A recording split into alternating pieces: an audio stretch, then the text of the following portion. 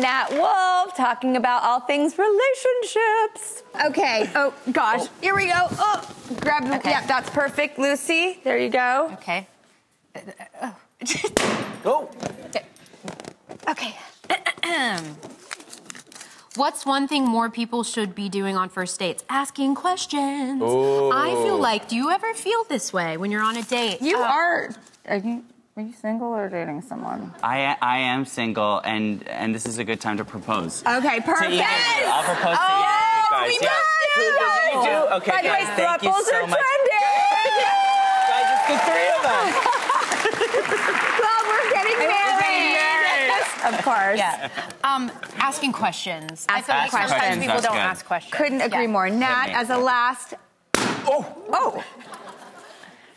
Have Have you ever told a pretty little lie to a lover? So Lucy Hale was on a show called Pretty Little Liars.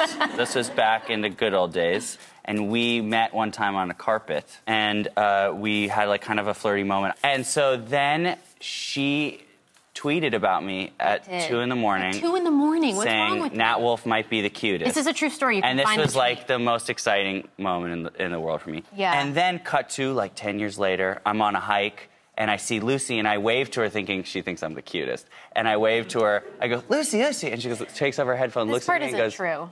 okay. This is and the then just starts Little Lie. walking. No, and starts walking past and the thing. So then Lucy told me that that didn't happen and that was the pretty little lie that Okay, she Okay, got it, got it. Oh, Absolutely. I